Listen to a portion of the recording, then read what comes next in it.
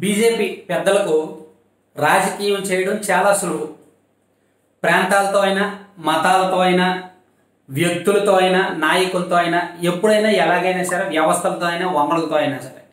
BJP party చాలా సింపుల్గా రాజకీయం చేస్తుంది. వాళ్ళ అవసరానికంటే ఒకసారి బీజేపీ చేతిలోకి ఏదైనా రాష్ట్రంలో అధికారం వెళ్తే ఆ రాష్ట్రం మళ్ళీ చేజారు వాళ్ళ గుప్పిట్లోకి ఒకసారి దేశం వెళ్ళినా రాష్ట్రం వెళ్ళినా మళ్ళీ చేజారు చూడండి ఇప్పుడు రెండు వేల పద్నాలుగుకి కాంగ్రెస్ ఎంత బలంగా ఉంది? ఇప్పుడు ఎంత బలహీనంగా ఉంది?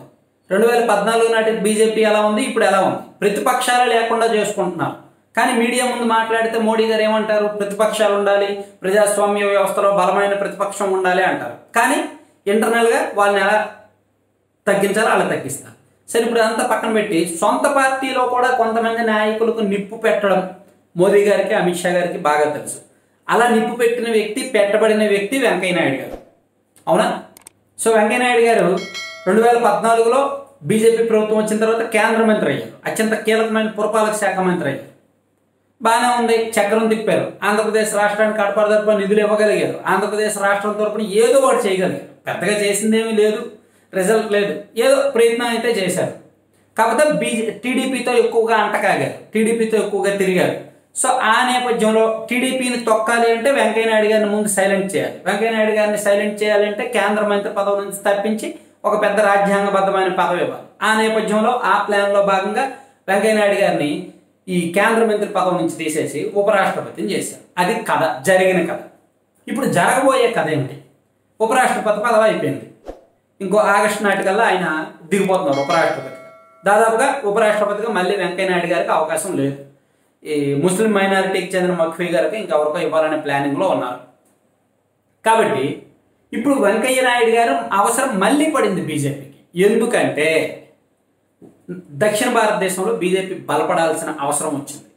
ఉత్తర భారతదేశంలో బీహార్ బీహార్ రాజస్థాన్ గుజరాత్ యూపీ లాంటి రాష్ట్రాల్లో బీజేపీ బలంగా ఉంది. బీజేపీ దేశంలో అధికారాన్ని నిలబెట్టుకోవాలంటే ఉత్తర భారతదేశంలో ఉన్న బలంతో పాటు దక్షిణ భారతదేశంలో ఎంతో కొంత బలం బలగం కావాలి. దక్షిణ భారతదేశంలో కర్ణాటకలో ఒక్కటే బీజేపీ పప్పులు ఉడుకుతున్నాయి. ఆంధ్రప్రదేశ్ తెలంగాణ తమిళనాడు కేరళ లాంటి రాష్ట్రాల్లో బీజేపీని ఎవరు పట్టించుకోవట్లేదు. తెలంగాణలో కాస్త హోప్స్ ఉన్నాయి. ఆంధ్రప్రదేశ్ తమిళనాడు కేరళ లాంటి ప్రాంతాలు అసలు పట్టించుకోవు. సో ఇప్పుడు వెంకయ్య నాయుడు గారిని యాక్టివ్ చేస్తే రాజకీయాల్లో మళ్ళీ ఆయన్ను చురుగ్గా తిప్పగలిగితే ఏమైనా యూజ్ ఉంటుందేమో అనే ఆలోచన బీజేపీ పెద్దల్లో కలుగుతోంది. దానికి కారణం ఏంటంటే వెంకయ్య నాయుడు గారు రాజ్యసభ సభ్యత్వానికి ప్రాతినిధ్యం కదా ఆ రాష్ట్రం కర్ణాటక రాష్ట్రం. ఆయన కర్ణాటక రాష్ట్రం నుంచే రాజ్యసభకు ప్రాతినిధ్యం వహిస్తున్నారు. పైగా కర్ణాటకలో బెంగళూరు ప్రాంతంలో ఆయన కొన్ని పరిచయాలు ఉన్నాయి. అక్కడ తెలుసు. అలాగే తమిళనాడు ప్రాంతంతో కూడా ఆయన పరిచయాలు ఉన్నాయి. వాళ్ళ అబ్బాయిలు కూడా ఉన్నది అక్కడే. కాస్త స్థిరపడ్డారు. అదంతా కూడా ఉంది. ఎందుకంటే ఆయన నెల్లూరు. నెల్లూరు అంటే తమిళనాడు బార్డర్ పక్కనే కాబట్టి ఆ పరిచయాలు రాకపోకలా ఉంటాయి. కాబట్టి తమిళనాడులో ఆయన తమిళ్ అనర్గళంగా మాట్లాడగలరు. పైగా తమిళనాడులో చాలా మందికి వెంకయ్య నాయుడు గారు తెలుసు.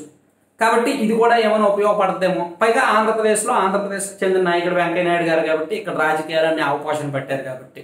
సో ఇలా వెంకయ్య నాయుడు గారు ఏమైనా ఉపయోగపడతారేమో దక్షిణ భారతదేశంలో బీజేపీ ఎదగడానికి అని అనుకుంటున్నారు. అందుకే ఈ రీజనల్ కోఆర్డినేటర్గా ఈ నాలుగైదు రాష్ట్రాలకు వెంకయ్య నాయుడు గారిని ఇన్ఛార్జిగా నియమించి ఈ నాలుగైదు రాష్ట్రాల రాజకీయ బాధ్యతలన్నీ ఆయన ఆయనకు అప్పగించే పనిలో బీజేపీ పెద్దలు ఉన్నారంట.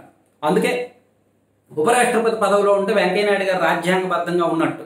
ఇటువంటి రాజకీయాలు చేయలేదు. పార్టీ యాక్టివిటీస్లో అంత చురుగ్గా పాల్గొనలేదు. ఏది పడితే అది మాట్లాడలేదు. సో ఉపరాష్ట్రపతి పదవి నుంచి దిగిపోతే రాజకీయాలు చేయొచ్చు ఎలాగైనా ఉండొచ్చు స్వేచ్ఛగా ఉండొచ్చు. అందుకే వెంకయ్య నాయుడు గారు కూడా నాకు స్వేచ్ఛ కావాలి నా నోటికి స్వేచ్ఛ కావాలి నేను ఏదైనా మాట్లాడగలగాలి ఏదైనా రాజకీయం చేయగలగాలి అన్నారు. అందుకే బీజేపీ అవసరాలకు తగ్గట్టు వెంకయ్య నాయుడు గారి కోరికకు తగ్గట్టు ఆయన ఉపరాష్ట్రపతి పదవి నుంచి దించేసి రాజకీయంగా వాడుకోవాలి అనేది బీజేపీ ప్లాన్. సో ఇది. ఇటువంటి కీలకమైన విశ్లేషణల కోసం సున్నితంగా కీలకంగా ఉన్నదన్నట్టు చెప్పేశాను. నేను సో ఇటువంటి విశ్లేషణల కోసం ఛానల్ సబ్స్క్రైబ్ చేసుకోండి. వీడియోలో కంటెంట్ నచ్చితే మీ మిత్రులందరికీ లింక్ షేర్ చేయండి. Thank you. ప్రకాశం జిల్లా ఇంటర్ విద్యలో విద్యార్థుల ఎంపిక శ్రీ సరస్వతి జూనియర్ కాలేజ్. ఒంగోలు బెంగళూరు ఆక్సిషన్ సోపే cell numbers nine one seven six one six two six nine six మరియు eight one four three double six double eight double eight